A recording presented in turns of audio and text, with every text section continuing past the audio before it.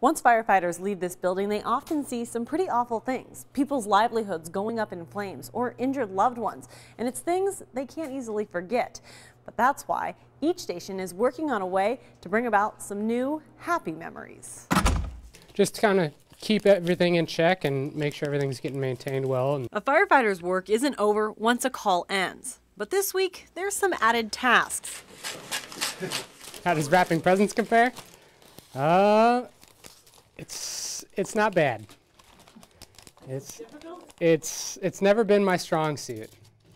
That's for sure. Firefighters don't train for this. And even the ones who have the skill set try and keep it hidden. Don't tell my wife I know how to wrap. But they're doing it this week and with a smile. And the guys enjoy this too. I mean, That's because these gifts are going to some very deserving families. you know, this doesn't solve all their problems, but you know, if we can help them out just around the holidays, then you know, it's I guess it's one positive thing that we can do for them. Two of the families Station 1 is providing gifts for lost a loved one this past year. It's that kind of heartbreak that these firefighters see day in and day out. As you get to know uh, what's going on, you know, they really they really tug at your heart. So that's why we ended up with three families this year instead of just our usual one. Three families will be receiving everything from home goods to winter gear and, of course, gifts for the kids. Hmm. We got some Star Wars socks as well. I just learned a bit about hex bugs.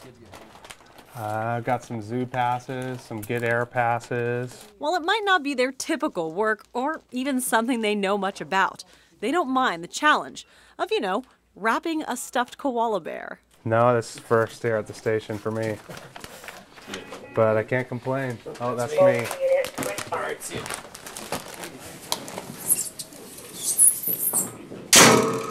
This holiday, the firefighters of AFD are helping people in the community, even between calls.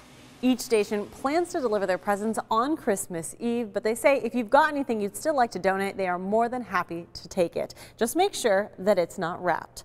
Reporting from Station 1, Mallory Peebles, Channel 2 News.